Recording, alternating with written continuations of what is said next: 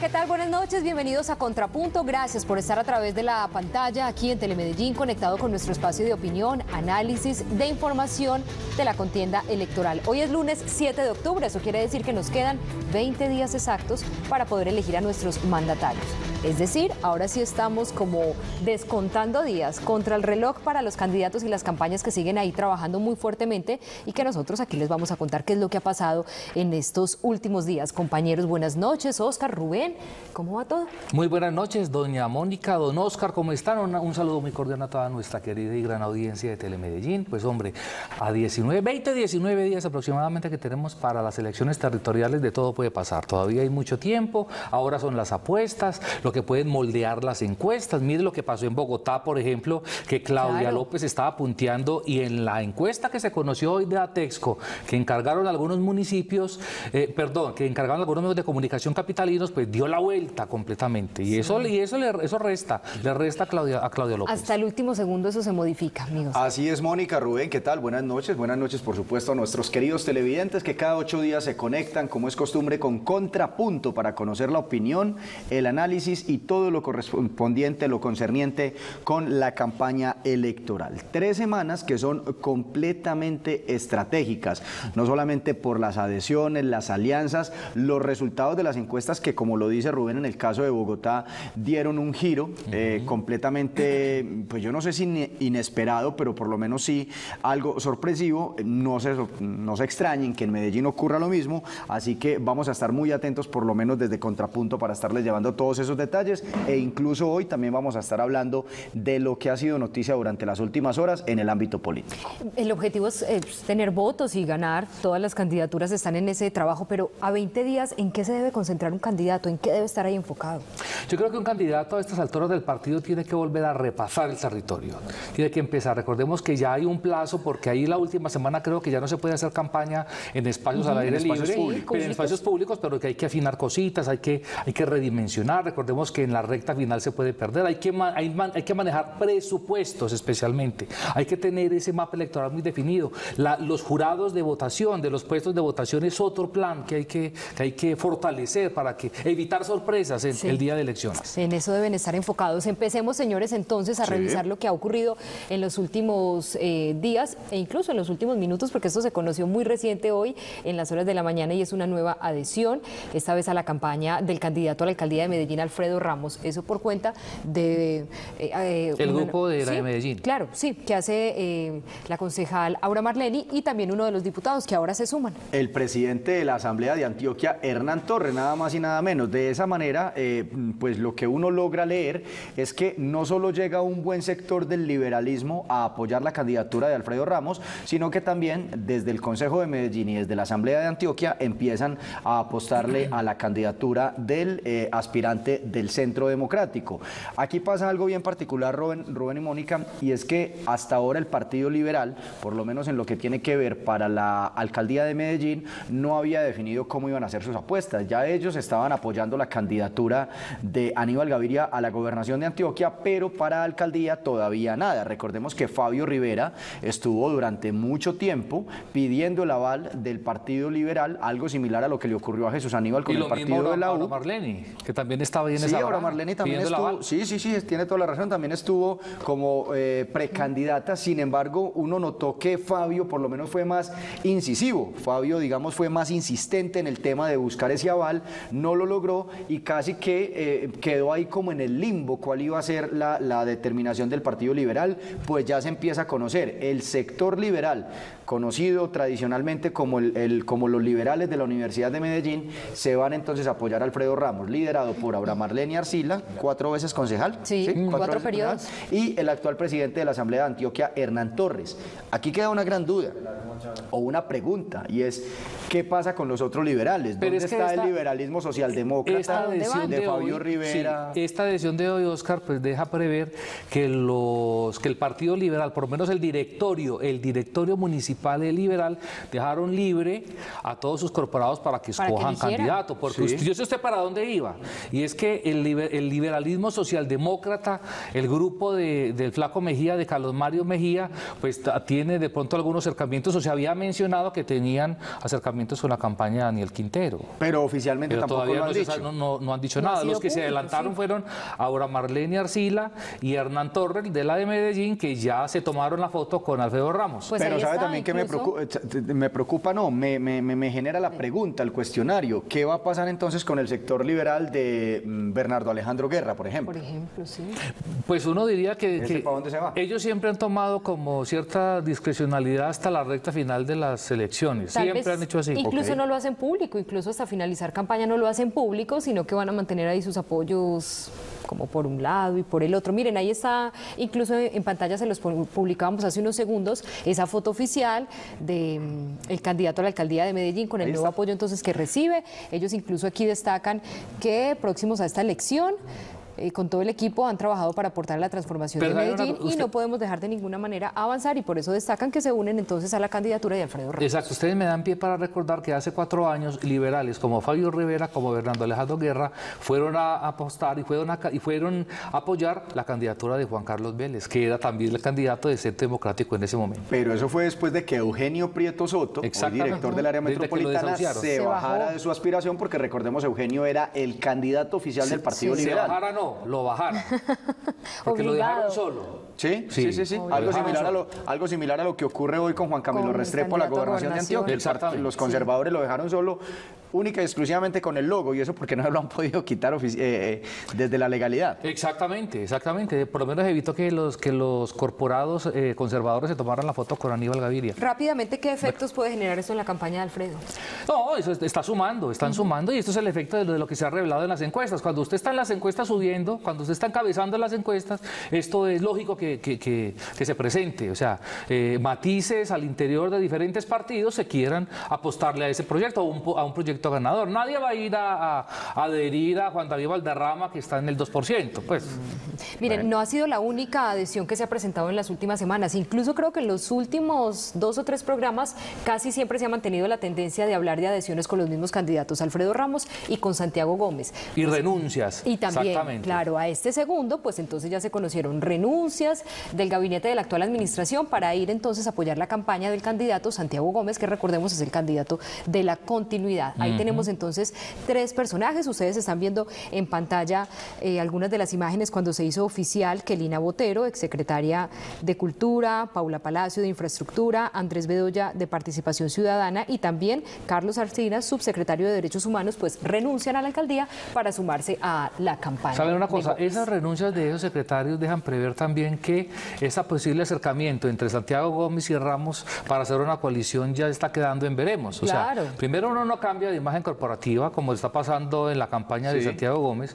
Y segundo, pues uno no, no, no acepta ya renuncias de un gobierno para fortalecer la, campaña para posteriormente ir a adherir. De hecho, recordemos eh, que hace ocho días eh, en nuestro programa que el invitado fue Santiago Gómez, pues aquí nos ratificaba que no, él no descarta alianzas con otros candidatos, pero que por lo menos con el caso de Alfredo Ramos, sí. Eh, ahí sí, como dice la, la, canción, la distancia entre los dos es cada, es cada, cada vez más fuerte, es lo que dice la canción.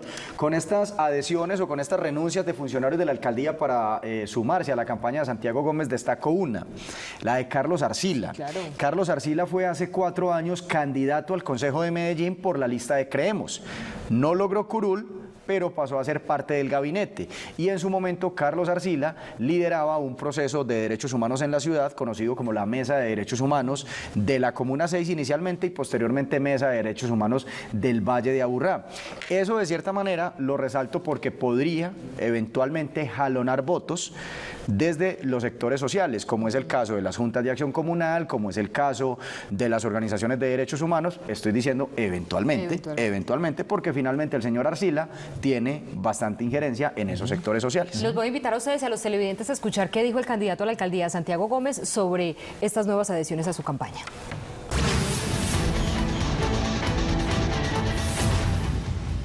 Hoy es un día muy importante para mi campaña, para este proceso, porque cuatro compañeros que estuvieron conmigo en el gabinete pues han decidido renunciar para acompañarme y trabajar en la campaña. Elina Botero, que fue la secretaria de Cultura, eh, Paula Palacio, que fue la secretaria de Infraestructura, eh, Andrés Bedoya, que fue el secretario de Participación, y Carlos Arcila, que fue el secretario de Derechos Humanos de la ciudad. Todos trabajan con Federico, renunciaron y han venido a trabajar en esta campaña. Bueno, con estos eh, cuatro funcionarios que se van de la administración para sumarse a la campaña, suman ocho. Ya en total son ocho los que entonces eh, se retiran de la administración para sumarse a ese apoyo y a ese Recordemos rápidamente, estos cuatro que acabamos de mencionar, sí. Luis Guillermo, Además, eh, Luis Guillermo em, Patiño, iba a decir, oye, somos Educación. Luis Guillermo Patiño, que era de Educación. Sí. Este muchacho de Bedud, que era el de Juventudes. Y, em, se me escapa uno, y, María Fernanda Galeano, que era la secretaria de, Desarrollo, Económico, que hoy por hoy es la gerente de campaña. Claro, está gerenciando la campaña. Mire, también con respecto a este candidato, hay noticias en los últimos días que se conocieron, incluso empezando la semana anterior, que tenían que ver con unas vallas que aparecieron en la ciudad. Eso fue sin duda tendencia y tema que estuvo ahí sonando en las redes sociales con unas vallas, dos específicamente que aparecieron en la zona sur de la ciudad, Avenida El Poblado, calle 10, dos vallas que estaban ahí que tenían la imagen incluso ya ustedes van a poder ver en las pantallas de sus televisores a qué imagen nos estamos refiriendo con esas vallas que estaban entonces ahí presentes. Y claro, toda la gente empezó a especular, a mencionar, a decir, a criticar y a hablar con respecto a esto. Dos vallas en diferentes sectores de la ciudad. Sí. Sí, pero se pronunció el candidato frente al tema. Claro. Sí. Se pronunció el candidato frente al tema, dijo que realmente no sabía quién las había mandado a poner e incluso resaltó que desde la Secretaría, eh, desde, esto viene siendo espacio público, desde la Subsecretaría de Espacio Público se mandaron a retirar porque no contaba con los respectivos permisos. Esos permisos, si no estoy mal, los de la Secretaría de Gobierno, ¿cierto? Eh, no estaban esos permisos y se mandaron a quitar. Además, eh, en una investigación realizada por un medio de comunicación, una nota periodística, se dio cuenta de quién había sido el autor de esas vallas, quién las mandó a poner. Se la tengo. Las vallas pertenecen a la empresa Más Visual pero la empresa más visual le alquiló esos espacios específicamente a la empresa de consultoría jurídica que se llama Bislegal SAS. Esa empresa pertenece a tres personas y uno de esos personajes, dueños de Bislegal SAS, específicamente fue quien a título personal, y lo ha dicho como un ciudadano, fui yo quien instalé las vallas, no conozco al candidato Santiago Gómez, a nadie de su campaña y simplemente las quise poner. Rubén, ¿eso por qué ocurre? O sea, eh, lo, digo es porque uno nota en diferentes zonas de la ciudad y del área metropolitana Ayer, por ejemplo, les voy a tocar ahí, les voy a hacer ahí un paralelo. Eh, veníamos de, por los lados de Llano Grande, por los lados del aeropuerto, hay una valla que dice Uribe es Colombia. Puede ser en, apoyo por lo de la Corte Suprema de Justicia, por las eventuales, eh, por los eventuales candidatos que él tiene para el 27, en fin. Pero uno creería de entrada que esa valla no la mandó a poner Uribe. ¿Por qué ocurre eso, Rubén? O sea, ¿por qué la gente termina sacando de su bolsillo? Porque además eso vale claro, vale. ¿sí? Para poner una, valla, Una valla puede estar bajita la mano, puede valer 7, 8 millones de pesos. O sea, la lona, la instalación, en fin, la renta, y es mensual, una renta mensual. Eso sale, sale, costoso. Pero ese es el juego de las elecciones. Especialmente cuando eh, el gobierno de, turno tiene algún favorito y cuando tiene alguien que participó del gobierno. Porque simplemente le gusta. Es y le gusta, eso pasa sin ningún inconveniente. Pero eso también genera suspicacias suspicacias como el cuento de la participación en política desde los funcionarios, del alcalde de turno, etcétera, etcétera. Claro, mire, el candidato Santiago Gómez se refirió al tema en el debate del último que tuvimos a alcaldía y habló sobre eso, sobre ese tema de las vallas, incluso otros de los aspectos en los que también lo estaban involucrando con presiones a ciertos funcionarios. Escuchen lo que dijo.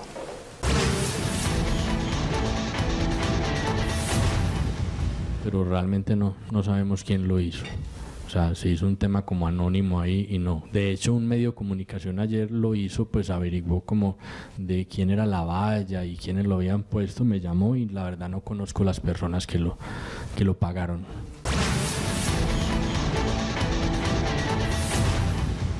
¿Iba a decir algo?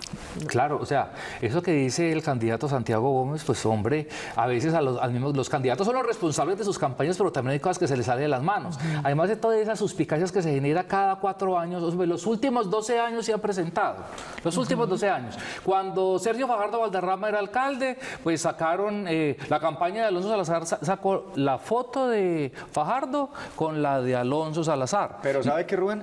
Déjeme un segundito, un segundito, porque es que creo, Mónica, que nos quedó en punta el tema de las declaraciones. Claro. Porque eso que acabamos de ver lo dijo en una rueda de prensa. Lo que pasa es que en el debate al que hacía alusión Mónica, ya vamos a ir a lo de Alonso y Fajardo, que eso también es eh, pertinente tocarlo En el debate al que hace alusión Mónica, que fue el último debate que se hizo con candidatos a la alcaldía de Medellín el pasado miércoles, por Telemedellín, eh, Juan Carlos Vélez, en un juego, en un, juego no, en un ejercicio que se hizo de sortear unas balotas para que entre los candidatos se preguntaran, Juan Carlos Vélez le preguntó por la supuesta presión a contratistas y funcionarios de la administración y respondió. Creo que es pertinente que también veamos esa parte.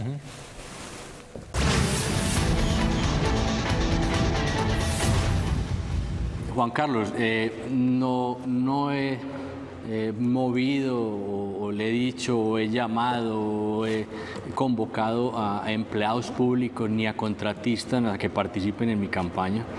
Eh, hubo hoy una, ayer hubo unas vallas, eh, no sabemos quién las colocó, no fueron de nuestra campaña. y las quitaron creo que porque no tenían permiso y había que retirarlas de la, del espacio donde estaban.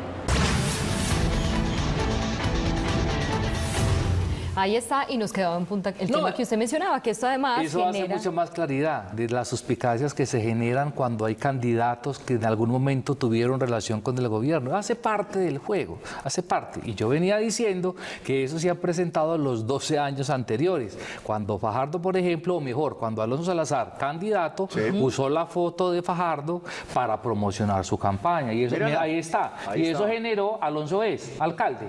Y en cierta medida eso generó también algunas investigaciones por parte de la Procuraduría, etcétera, etcétera, que no llegaron a nada. Posterior fue, fue, fue electo Alonso Salazar. Y lo, mismo pasó con Aníbal Gaviria. O sea, que a propósito, es que Alonso sí fue sancionado por la Procuraduría por participación en política, que yo creo que ya terminó su, su, inhabilidad. Entonces yo creo que todo el mundo pesca un río revuelto, todo el mundo se vuelve completamente susceptible, pero hace parte del juego, hace eh, parte. Oíme, eh, viendo esa foto, no sé si de producción no la pueden volver a ponchar, por favor. Viendo esa foto, no, me, me, me, me, generó curiosidad que se aplica literalmente a aquella canción de La nieve de los años. Sin duda. Ahí Yo vemos exactamente a, lo mismo. Vemos a Alonso más cachetoncito, claro, claro. Fajardo más, crespito. Y sin, canas. Más crespito. Ya hoy por hoy uno hace ese paralelo y ha pasado el tiempo. Cuidemos lo que logramos con Fajardo. Esa es una cosa. Ese sí era, directo, ese sí era directo. hace mucho rato Es contundente. Sí, señores. Vamos a hacer nuestra primera pausa para mensajes institucionales. Recuerden que esto es Contrapunto, que ustedes pueden opinar a través de arroba telemedellín en Twitter con el numeral Contrapunto TM. Ya regresamos con nuestro invitado de hoy, uno de los candidatos a la alcaldía de Medellín. Estás viendo Contrapunto.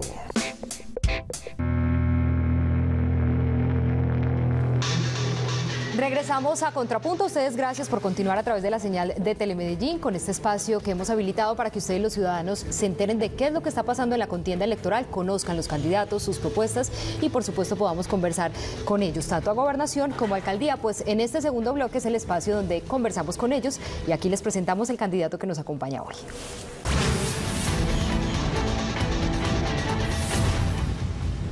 Ya está aquí con nosotros el candidato Daniel Quintero Calle, aspirante por el Movimiento Independientes, ingeniero electrónico de la Universidad de Antioquia, especialista en finanzas de la Universidad de los Andes con MBA de Boston University, viceministro de Tecnologías de la Información, viceministro de Economía Digital, gerente de Impulsa Colombia, la entidad de Industria e Innovación Nacional, director de Piensa Verde, Fundación Ambientalista. Ya está aquí con nosotros Daniel Quintero Calle, candidato. Buenas noches, bienvenido a Contrapunto. Mónica, un saludo para ti, a Rubén Oscar, muy buenas noches a todos. Un saludo a todos ustedes en sus casas. Gracias por acompañarnos. ¿Cómo va esa campaña? Estos días son duros, hay que trabajar fuerte. ¿Cómo avanzan las cosas? Muy bien, gracias a Dios. La campaña va avanzando, vamos ganando. Yo todos los días salgo, al otro día salgo a la calle y digo, oiga, hoy hay más energía que ayer.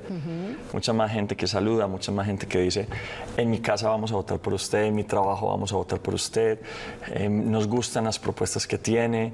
Y yo creo que eso va también llenando energía y va recomponiendo la energía que se va perdiendo porque esto... Va motivando. Sí, sí, sí, esto es, pero esto es duro. Sí. Eh, candidato, llama la atención es el tema de, de, la cantidad de jóvenes, por decirlo de alguna manera, que lo están eh, siguiendo a usted o que se ven atraídos por sus propuestas, porque no nos digamos mentiras, desde lo político conquistar el voto juvenil es muy complejo, pues porque finalmente pues esta, estas generaciones de milenias y centenias nunca en su vida han votado o han estado muy escépticos a todo lo que tiene que ver con el tema electoral, con el tema de, participar democráticamente dentro de un Estado social de derecho como es el nuestro, y uno escucha constantemente a los jóvenes, a los universitarios, algunos incluso que todavía no pueden votar, se ven atraídos por sus propuestas. ¿Cómo él logra eso? Porque finalmente habrá otros candidatos que no habrán logrado esa conexión con los jóvenes. Yo creo que es un poco que esta es una campaña de la nueva política que defiende las nuevas causas, que habla de educación que habla de hacer de Medellín un valle del software, que habla de hacer de Medellín una ecociudad, que ha sido coherente cuando hay que tomar posiciones a pesar de los costos políticos que eso implica. Y eso los jóvenes terminan reconociéndolo como, como eh, en la forma de esta persona nos representa. También les gusta, yo creo que es una campaña fresca que hacemos en la calle, que que le hemos quitado muchas cargas que suele tener las candidaturas y hemos hecho una campaña confiando en que la ciudadanía misma es capaz de sacarnos adelante. Pero uno 19 días de, de las elecciones territoriales y uno empieza a ver obviamente como ese favoritismo de los jóvenes, como le decía Oscar, pero uno también empieza a notar que el establecimiento como que sí está un poquito más lejos de la campaña de independientes. O sea, uno empieza a notar que como los partidos políticos, que algunos empresarios, o sea, que ven a Daniel Quintero y lo ven como el coco. Como dicen, ay hombre, es que este man con todo ese pasado que tuvo, nos da como un poquitico de, de no sé, como de temor. Pues yo creo que no debe asustar que haya sido vendedor ambulante, ni haber salido de la Universidad de Antioquia, ni haber sido viceministro, ni haber gerenciado la política industrial y nacional, nacional de innovación y emprendimiento. Eh, yo acabo de salir de una reunión con la ANDI, con toda la Junta de la ANDI, además una reunión a la que no invitaron a todos los candidatos, a los seguramente más opcionados, y mañana voy a una reunión del Consejo Intergremial, 350 ¿Quiénes estaban? empresarios. No, yo, yo, sé que no estaban, que no fueron invitados todos, eh, deberían invitarlos a todos realmente, pero pero me dicen que me fue bien. Nuestras propuestas, nuestra propuesta de desarrollo económico es una propuesta seria en un momento donde la ciudad afronta retos económicos serios. Hoy tenemos la tasa de desempleo casi la máxima en la última década, empresas están yendo, eh, hay hay en muchas personas el consenso de que hay que darle nuevamente un sacudón para que Medellín vuelva a crear empresa, vuelva a crear empleo. Y esas propuestas que traemos nosotros precisamente de crear emprendimiento, de hacer emprendedores, de apoyar a los que están, los que tienen nuevas ideas, de invitar a invertir en Medellín, de quitarle barreras a los que están emprendiendo y creando empresa, pues yo creo que ha calado también en el empresariado que si bien pues yo no ando con una coquita recogiendo monedas y, y plata, esta es una campaña financiada de forma sencilla, eh, con préstamos. Que incluso muchos creían que de pronto ibas a adoptar la, la, misma estrategia de tu hermano Miguel Quintero en su momento al Consejo, que es el famoso marranito, que de hecho ahí pues, cariñosamente lo empezaron a pues llamar el marranito. Yo lo iba a hacer, mi hermano, para los que no, para poner en contexto a los que no lo conocen, mi hermano fue concejal del Partido Verde y como no tenía recursos, pues salió con una alcancía a recoger monedas. Sí, sí, sí, yo me acuerdo. Y se eligió contra todos los pronósticos, o sea, esos de familia. Y yo lo iba a hacer, pero resulta que cambiaron la legislación y ahora por cada moneda que te echen, tienes que tener certificados. Hay que tributar. Dios mío, eso le tomaba más tiempo en campaña. Sí, no, vale más la fotocopia de la cédula que la monedita. que la monedita que pongan. A mí me da una duda, creo que no me quedó bien clara la respuesta de la pregunta de lo que hacía Rubén, porque él hablaba de un pasado oscuro y me queda la duda de saber, porque pues el que usted menciona, finalmente todos somos así. Yo soy egresada del Politécnico, sí, eh, de Barrio Robledo, todos tenemos como, como ese, esa historia, pero a ese pasado oscuro ¿A qué se refiere específicamente? y si usted nos cuenta esas bases políticas suyas. Yo no tengo pasados oscuros. Mi, esta es una campaña transparente, honesta. Eh, como funcionario público no he tenido una sola investigación en mi vida. Me, dieron la orden precisamente a la transparencia, Carlos Lemon Simmons, a la transparencia por mi misión eh, en lo público. Y yo creo que eso, es una, eso también es lo que le gusta a la gente, que hay una, hay una posición ética fuerte. Ahora, eh, yo creo que Rubén se refería a que yo fui muy crítico en relación a las irregularidades en el caso de Hidroituango. Mm. Y eso a algunos los preocupa. Pero yo digo que no se debe preocupar nadie que, tenga, que no tenga nada que ver. eh, si, si nadie, si alguien no tiene ninguna, ningún problema con corrupción, pues no debería preocuparse. Eh, yo tampoco llego a ser el fiscal ni el contralor, yo llego a mirar para adelante, a construir sobre lo construido, a sentar a todos los actores y decir, venga, ¿cómo hacemos que esto no vuelva a pasar? Si yo qué creo, que esto no fue una película rosa, a Hidroituango lo vamos a sacar adelante, pero no podemos dejar que se convierta en una oportunidad para que vendan a empresas públicas de Medellín. Pero Yo- le han dado mucho palos de los otros candidatos. Sí, en los pero- Sí, debates, le han, que- en los que- debates le han dicho. Yo creo que hay que ser un poquitico con como tema. mucho más puntual y no ser como tan timorato hasta a la hora de manejar el tema y, y yo me refiero específicamente, por ejemplo, usted la semana pasada hizo una rueda de prensa porque le estaban haciendo prácticamente bullying en redes sociales. Y yo recordaba, por ejemplo, cuando usted, eh, como fundador del Partido del Tomate, todo lo que hizo en el momento que a mí en lo personal me pareció una posición bastante beligerante por las circunstancias del momento. O sea, tomate para el procurador, tomate para el presidente Santos, tomate, mejor dicho, tomate para el Consejo de Medellín, toda la cosa. Y como estamos en una campaña a punta de estrategia, a usted le han sacado por redes sociales y por, toda, y por todo su recorrido político, ¿cierto? Que nació en el Partido Conservador, que después fue candidato a la Cámara de Representantes por el Partido Liberal para Bogotá, después que se fue a trabajar con el presidente Santos de viceministro, que usted mismo lo ha dicho, después usted mismo sale a decir eh, en la campaña de Petro que yo soy Daniel Quintero y quiero que Petro sea mi presidente, que se lo han sacado. Y entonces, en cierta medida, y después de ahí salió a Independientes. A la gente, especialmente la que está al otro lado, que es contradictora suya en campañas políticas, pues ha utilizado eso para decir, a ver, ¿qué tan independiente es este candidato cuando lo que, lo, lo que se evidencia no es tanto? ¿Qué, Sí. qué se le dice a esa gente, por ejemplo? Siempre. ¿Qué se le dice a la gente? Aquí una tierra tan goda, tan uribista, un candidato que estuvo al lado de Petro, ¿qué se le puede decir a la gente del común? Del Cien- común? 100% independiente. Esta no es ni la campaña de Uribe, ni la de Petro, ni la de Fajardo, ni la de Duque. Claro que yo he estado, yo fui viceministro, tuve relación con muchos políticos. Esa es la dinámica normal de la política. Pero yo nunca he tenido jefes. Yo nunca he aceptado una jefatura en política porque en política el jefe debe ser la gente. Cuando uno, cuando va a tomar una decisión, si le tiene que preguntar a alguien sobre esa decisión, entonces usted realmente no le puede decir a la gente que usted va a ser el alcalde, porque el alcalde va a ser otro. En nuestro caso, yo le puedo decir a la ciudadanía, quien toma las decisiones soy yo. Los otros tienen jefes, yo no. ¿Y qué tanto ha funcionado lo de la bloqueada en Twitter a, a Petro y a Uribe? Porque Me finalmente tocó. usted también lo hizo como para mostrar Exacto. precisamente que, No, ni no al- solo- que solo no le para- copia ni al uno ni al Eh, otro. Eso me parece muy importante y esa es una de esas pruebas. Cuando, Pero, pero si ha funcionado, Petro- ¿usted cree que de pronto sí ganó cuando- más votos ahí? con Cuando Petro y Uribe empezaron a meterse en la campaña, eh, lo cual es, me ¿Por parece pues como pasó? el pantano de la política, esa sí es la política de Bogotá, de Petro, Uribe, izquierda, derecha. Yo dije, no, qué pena, aquí vamos a hablar de propuestas para Medellín. Vamos a hablar de cómo resolver los problemas de desempleo, de cómo hacer de Medellín una ecociudad, de cómo darle seguridad a los medellinenses. Las cifras de inseguridad vienen creciendo de una forma dramática. Entonces dije, ¿sabe qué? Bloqueado el uno, bloqueado el otro, chao de esta ecuación. Y no volvieron a referirse. Es decir, ni el uno volvió a hablar, ni el otro volvió a hablar. Seguramente pues el otro está más, más en sus cosas, ahorita pues que, que tiene sus procesos. Pero internamente Eh, de pronto pero- no, te, no te escribieron y como, hey, venga, ¿cómo nos pegas esa, esa boleteada en público? En público. A propósito, yo creo que hay una parlamentaria en Bogotá que entuteló a uno porque lo había bloqueado, que porque tenía derecho a saber qué era lo que, que me, pensaba. que me entutelen, pero esta campaña la vamos a hacer con los medellinenses y no, a y no vamos a dejar ni que Petro ni que Uribe se metan en ella.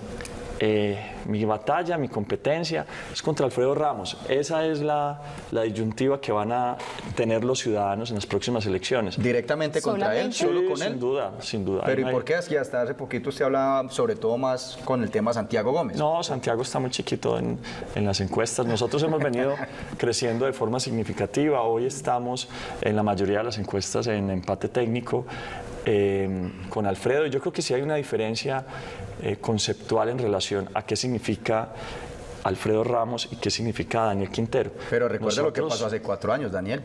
eh, Hace cuatro años las encuestas realmente Ya. no le atinaron. Ya para este punto no. eh, Hay que ir a la calle para ver lo que está pasando en la calle.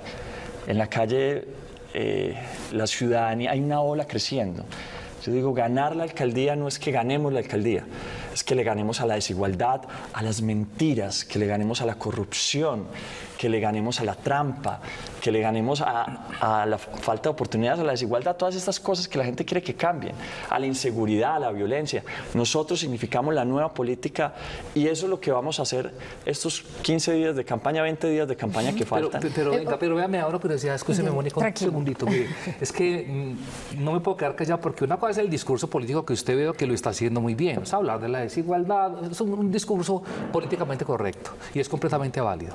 Pero cuando uno, por ejemplo, también en, en los, en, en- los corrillos políticos uno escucha, por ejemplo, su ascendencia con el director del Partido Liberal, que, que un partido liberal es un partido importante, o sea, y no solamente en el centro del país, sino también aquí en Antioquia. Pero cuando uno se da cuenta hoy que el grupo de la de Medellín, que tienen una representación bastante interesante, toman la decisión de ir a apoyar a Alfredo Ramos, entonces cómo se queda de pronto esa cercanía y esa posibilidad de sumar votos importantes que tiene el liberalismo aquí en Medellín, que mal contados, puedo equivocarme, pero pueden ser 80 mil el partido solo aquí en, aquí en la ciudad. Yendo incluso en contra, discúlpeme Daniel, qué pena, yendo incluso en contra de la carta que había enviado, estoy mal, Iván Darío Agudelo. si Iván Darío Agudelo, el senador. Solicitando que todo el respaldo liberal fuera para. Yo, yo no me meto en las decisiones de los partidos. Incluso el- en el Partido Verde hubo una discusión muy fuerte de si apoyarme no apoyarme, porque, porque ellos tenían eh, unas discusiones.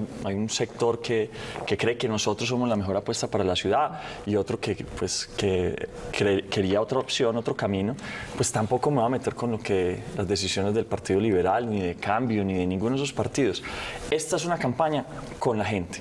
Así como no dejo que se meta Petro ni Uribe, pues tampoco dejo que se metan eh, a decidir lo que está pasando en esta candidatura otras colectividades.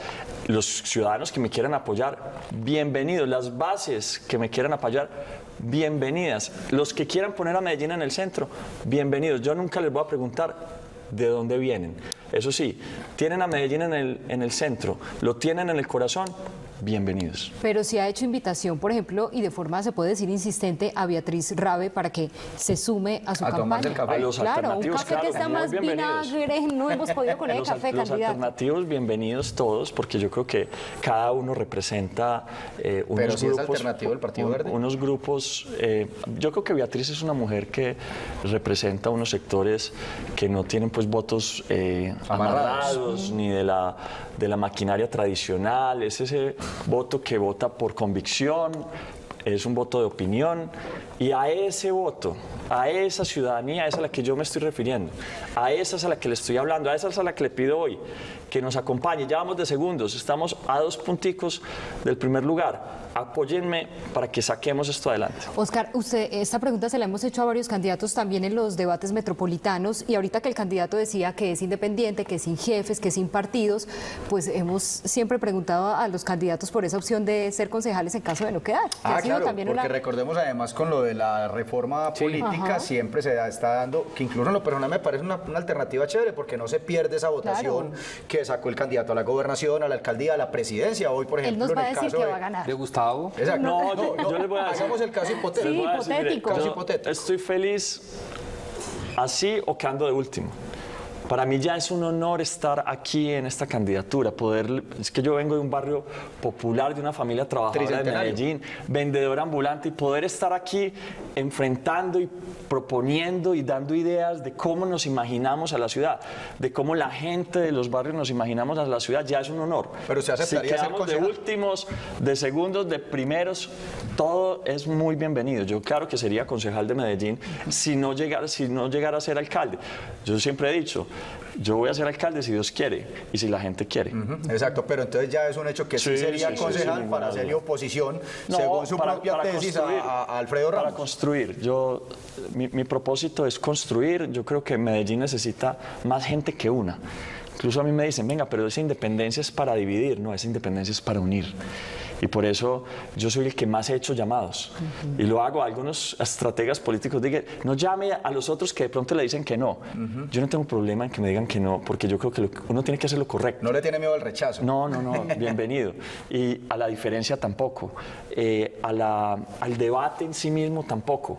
A mí me gustan los espacios donde se confrontan las ideas. Hay que ser duro con las ideas, suave con las personas. Esa es mi filosofía. de ¿Sabe a quién le escuché esa frase? Y discúlpenme aquí mezclar peras con manzanas. Se la escuché a Jorge Gómez. ¿Ah, sí? Cuando le pregunté en una entrevista el qué, cómo explicar que después de darle hasta con el tarro a Sergio Fajardo, cuando era gobernador, salió con él en la campaña presidencial. Qué pena haberles La mezclado ahí. y me respondió lo mismo. Sí, ¿Qué, muy qué- qué- dinámica. qué eh, Daniel, qué va a pasar en estos 19 días que quedan de campaña? Yo, o sea, la queja que usted hizo la semana anterior de todo el bullying que le andan haciendo en redes sociales, o sea, van a ser 19 días Duros. duros. Estamos listos. Durísimos. Esto- la- una campaña es más un ejercicio espiritual que un intelectual o, de, o físico. Es estar tranquilo, escogerla, como, como dice un amigo mío, cójala suave, con humor, con tranquilidad, con seriedad también, porque estamos definiendo el futuro de la ciudad, pero va a ser lo que la gente quiera. Yo no puedo convencer a la gente, obligar a la gente de que vote por mí. No, la gente va a tomar la decisión de votar por mí o por otra opción. Yo voy a hacer mi mayor esfuerzo en estos 19 días para que vean las ventajas que significa votar por nosotros. Yo estoy convencido de que nosotros significamos la mejor alternativa en este momento histórico de la ciudad. Conocemos los retos de la ciudad, conocemos qué está pasando en el mundo. Eh, yo soy experto en todos los temas de cuarta revolución industrial, cómo crear empleo en la ciudad en estos momentos que son bien retadores en términos económicos. Sabemos cómo hacerlo. Yo eso es lo que le quiero ofrecer a la ciudad y espero pues que la ciudadanía, muchos me acompañen en ese propósito.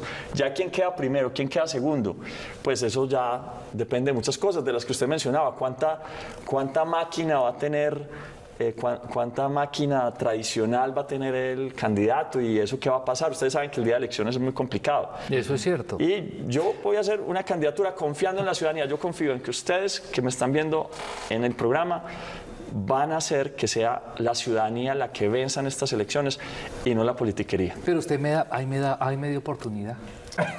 Ay, ya- a ver, a ver Sí, con qué va a salir. Es que cuando Rubén. usted, si usted viene de allá, o sea, ¿por qué, por qué criticar la- los partidos tradicionales? O sea, eso me suena como a Fajardo, o sea, que, que empiezan, tienen un discurso, un discurso medio destemplado, o sea, criticando la clase política que algo ha hecho, pues. Algo ha hecho el Partido Conservador, algo ha hecho el Partido Liberal, algo ha hecho los partidos, algo ha hecho la institucionalidad. Y ustedes salen ahora a irse en contra de, los partidos tradicionales. Si ustedes pasaron por ahí, eso lo ve usted tiene- Pepito Pérez o lo ve cualquier persona que está trabajando en Santo Domingo. Eso también lo, lo sabe la gente. Rubén, el problema no es los partidos, el problema no es la política, es la politiquería, es la compra de votos, es la mentira, es la trampa, es la corrupción. Eso es lo que vamos a enfrentar. Eso es lo que queremos cambiar.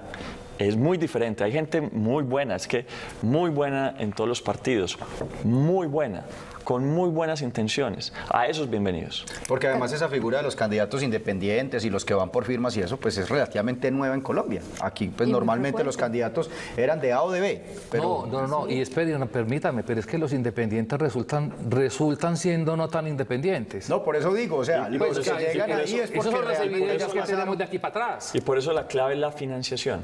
Usted recuerda la campaña de mi hermanito, la alcancía, financiándose para no tener que ver favores. Luego resulta que eso es, arranca realmente cuando yo era muy joven, arranco con el mismo ejercicio de la alcancía. Ahora lo mismo. Queremos, hemos hecho una financiación con préstamos, es decir, Ese van es el marranito ahora, es- préstamos. el marranito ahorita es préstamos, hacer una campaña muy barata, no tenemos todas las vallas, no tenemos toda la publicidad, no tenemos eh, los partidos ni, ni apoyo de la administración. Estamos en una campaña ciudadana y eso puede, y, y Rubén tiene toda la razón, puede que eso no nos dé para ganar. Pues, pero ¿qué hacemos? Nada, es la ciudadanía la que decide. Candidato, ¿usted hace cuánto regresó a vivir a Medellín? Yo, me más bien cuando me fui, yo me fui cuando me fui a hacer primero una especialización, yo soy especialista en finanzas de la Universidad de los Andes, luego volví a la ciudad y luego después de un tiempo en la ciudad creé empresa y me fui a hacer una maestría en Boston University, hice un curso tipo Duke en Harvard, luego, yo, yo lo digo así. Sí. El apellido, tipo Duque. Sí, hice un curso tipo Duque en Harvard en finanzas públicas, administración de finanzas públicas. Luego eh, volví a la ciudad y luego me nombran eh, viceministro, primero gerente de Impulsa y viceministro de Economía, viceministro TIC y luego viceministro de Economía Digital.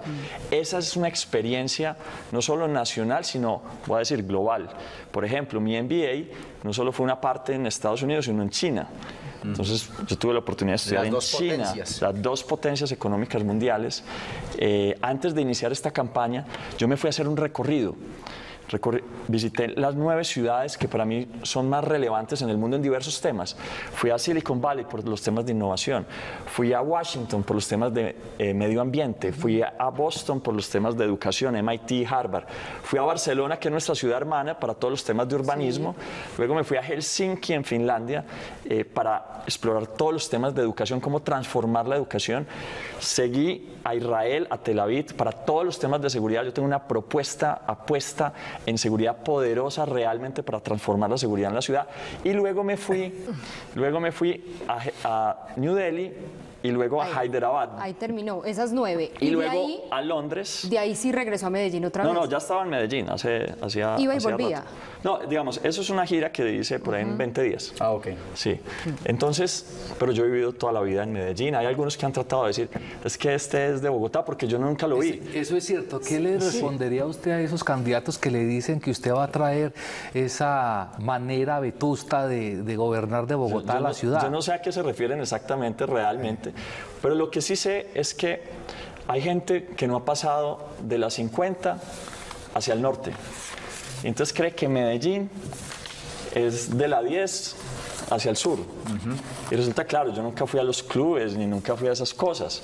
No, yo vengo de Campo Valdés y crecí en el Tricentenario y seguramente por eso no me veían, porque me estaba al otro lado de las 50. Entonces, A mí, a mí me quedó faltando que me dijera fecha cuando vino acá. Yo creo que No, cuando no, que terminó no he gobierno nacional. Es que yo me he ido, o sea, cuando, cuando tú, si a ti yo te nombro, si algún día yo soy presidente y te nombro viceministra, Oiga, ya a entonces el, a ti te toca irte a Bogotá. ¿Cuánto duró eso? Tres años. En Estados Unidos, sí dos años. Hay uno que dices que 15 años y yo, por Dios, me están metiendo cuántos años me Por están metiendo. unos cinco Pero años si hubiera sido esos 15 trabajos. años, pero si hubiera sido 15 años, no fueron 15, pero si hubiera sido 15 años, si lo que somos los paisas es arrieros, berracos, a donde vamos abrimos camino, a donde llegamos creamos empresa. Eso es lo que somos los paisas. Yo creé empresa de cero, me tuve que quebrar varias veces y finalmente me nombraron, precisamente antioqueños me nombraron en la orden del Surriago como ejecutivo antioqueño del año por mi recorrido empresarial, ¿Esa orden la da quién? el Centro de Estudios Universitarios. Vamos No- a hacer el conocía. contrapunteo. Es Pero muy importante. Pero suena bonito. Sí. Es muy importante y hay mu- cada año la dan muchos antioqueños muy importantes han sido eh, condecorados por La esa Orden la del orden del Surriago. Además que el Surriago pues tiene toda una Claro, Para los- toda la simbología. Para quienes nos ven y no saben qué es un surriago, es el, el- el palo con el juguete, Sí. disculpen la palabra, que llevan los arrieros para arriar las mulas. Y eso es lo que Eso eso, es un surriago. representa muy bien mi historia. Mi historia es la de un arriero. A más de uno le faltó surriago. Mire, para ir finalizando eh, nuestro bloque de la entrevista a candidato, siempre hacemos un ejercicio Mónica, que se llama gracias. el contrapunteo. Antes de despedirse, candidato, porque estos son 10 palabras, cada uno le va a ir diciendo una y usted ágilmente nos, nos responde con una palabra qué significa Los para usted. políticos somos muy malos haciendo eso, ¿no? Porque ¿Sí? terminamos siempre diciéndole sí, pero más o menos, pero no sé qué. Se van alargando. Es un ejercicio mental. Vamos a ver cómo nos va en este candidato. Inicio. Medellín. Hermosa futuro. Tics, TICS. tics. Eh, economía digital. Independiente. Daniel Quintero. Partidos tradicionales. Eh, dejémoslo así. eh, Bueno, Bueno. Petro. eh, Petro es eh, peleón y pasado. Tricentenario. Mi casa. Educación. Se quedó. No, es, es que educación suspiro. y yo es una, una cosa. Eh, yo estoy aquí porque un día no pude pagar la matrícula Una palabra. para estudiar y desde ese día he trabajado todos los días de mi vida para que otros jóvenes no se queden sin estudiar. El Entonces, para mí pudo haber es sido la respuesta. Vamos con la otra. Juan Manuel Santos. Juan Manuel Santos, presidente, expresidente. Plebiscito. Plebiscito, sí. Impulsa. Impulsa innovación, emprendimiento. Candidato, gracias por habernos acompañado. Ahí lo tenían ustedes en Muchas, pantalla, Daniel muchas, Quintero Calle. Muchas, muchas Pero muy gracias. calmado, usted ya Ni le Dios les ya, ya esa, esa aspereza que tuvo con Oscar, ¿qué? Ya. No, es cosa del pasado. Oscar y yo somos El amigos. candidato se, eh, se disculpó eh, internamente, Oscar, se no disculpó puede y poner las excusas fueron... Le hubiera Hacen el sacado el surriago, le Por hubiera eso sacado yo el digo, surriago. esto es un ejercicio Es que a mí no me dieron la orden del surriago, porque si no se lo hubiera sacado. Esta, esta- esta es un ejercicio más espiritual que otra cosa. Eh, faltan 20 días, los 20 días más importantes. Yo le pido a todos los medellinenses que escuchen nuestra propuesta, ojalá les guste y nos acompañen con su voto. Feliz noche, Bueno, bien, candidato, y gracias por habernos acompañado. Vamos a hacer una nueva pausa para mensajes institucionales. Ya regresamos con la parte final de Contrapunto.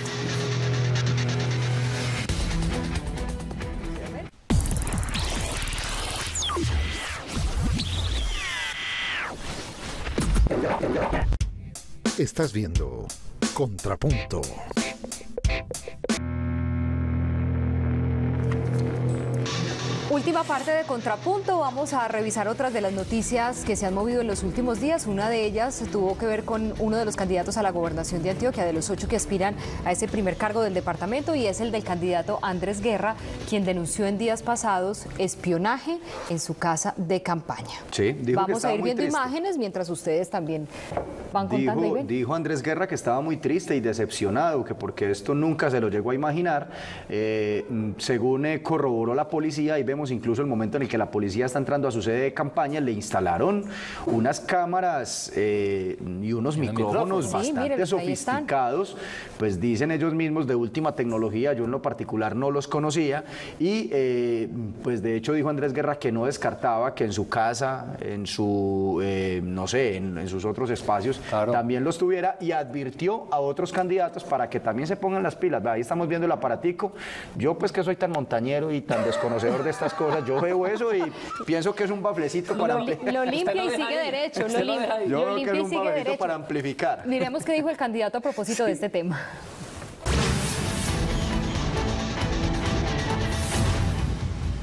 encuentran seis cámaras en puntos estratégicos. Uno donde es mi punto de trabajo, otro donde está el tema financiero, donde está todo el movimiento del equipo de trabajo del día a día y otro en el centro de reuniones. Eh, uno hoy, si me piden un concepto, así no vale la pena ser político. Yo soy un hombre decente, respetuoso.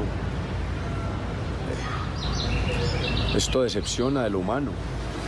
Yo no quiero hacer ruido con esto, pero es muy duro entender que alguien nos está chequeando para hacer un escándalo mediático en cualquier momento, en cualquier escenario a 20 días de una elección. Y eso no se debería permitir en esta sociedad. Una sociedad que está lacerada, que hoy tenemos una enorme crisis de imagen de valores. Bueno, Estaba triste. No, hombre, no Sí, está así, pero si yo fuera asesor de esa campaña dirían, hombre, es que que lo chusen a uno es porque uno va bien. Pues Al, no, al árbol no, que más frutos da, el que más piedra le que tira. más le Pero por supuesto, por Sí. supuesto. O sea, y, y la- la- las encuestas lo han revelado y toda la cosa. Quienes van encabezando en este momento a la gobernación del departamento de Antioquia son Andrés Guerra Y y, Aníbal. y Aníbal Gaviria. Y claro, de todo se va a presentar, todo, todo puede pasar en esos últimos días, en esta recta final. Y eso precisamente es la demostración de lo que Oiga, me se parece presenta. lo difícil también es lo que puede generar eso al interior de la campaña, desconfianzas de unos y de otros, que yo creo que también ahí pueden generar claro. un, Este un mal sin sabor, sí, sin duda. este. Pero, hubo una noticia buena. Sí, claro, no todo fue como fue, la- fue malo para el candidato Andrés Guerra porque en los últimos días, pues, el que era aspirante a la alcaldía de Medellín, Jesús Aníbal Echeverry, que se retiró de su campaña para unirse a Alfredo Ramos, quien va punteando la alcaldía, pues también se sumó ahora a la de Andrés Guerra y en Twitter incluso publicó, con Andrés hicimos una alianza programática, al igual que lo hicimos con Alfredo Ramos, coincidimos en que tenemos que sacar adelante el proyecto de Hidroituango. Hay quienes preguntaban, hombre, ¿y de qué le puede servir a Andrés Guerra que Jesús Aníbal, siendo concejal Hombre, de Medellín, le- se le sume? Hombre, pues ¿cómo que de qué? De mucho, porque además, para quienes no lo sepan, históricamente la votación más alta para la gobernación de Antioquia ha sido en Medellín y el Valle de Aburrá. Y el hecho de que Jesús Aníbal, concejal durante 16 años, eh, muy cercano al voto popular, al voto de opinión, pues se le adhiera no solo a, Andrés, eh, a Alfredo Ramos, sino ahora a Andrés Guerra, pues eso de cierta manera lo ayuda a coger mucho impulso también acá en la capital de Antioquia. Muchísimo, usted puede tomarse una foto en apartado con mucha gente muy chévere y aporta y tener eh, seguidores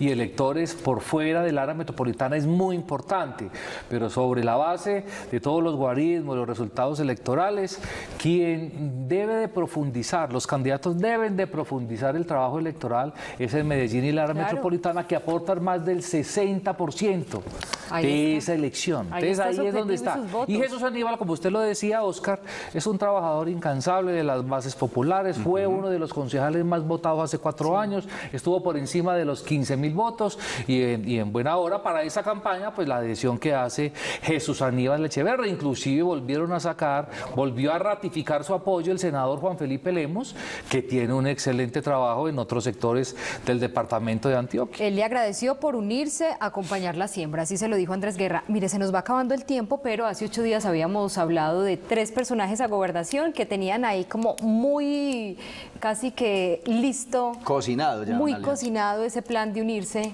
a la gobernación. Mauricio Tobón, Juan Esteban Mejía. Mejía, y Rodolfo Correa, Correa. Rodolfo Correa. Los tres muy pendientes, pero eso... mm, mm. Se Eso desbarató. pero es que yo no explico por qué. Yo, yo no- eh, muy aventurados ellos sacar eso. Primero, los tres están en, un- en una situación bastante compleja, porque no despegaron según las encuestas.